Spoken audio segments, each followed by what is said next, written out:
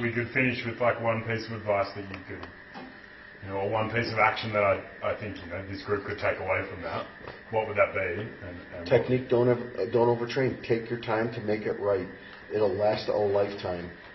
Because you're not here. You didn't pay money just to come because you don't give a shit. You came here because you want to learn something. You want to be able to do it for the rest of your life because you love it. So treat it like that. Take your damn time.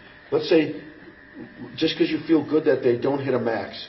Let's say you wait till the end of the training cycle, then you hit it. Now you're strong enough to be able to hit it right, and you're not going to fuck up the rest of your training. Sounds simple, isn't it? It really is the right way.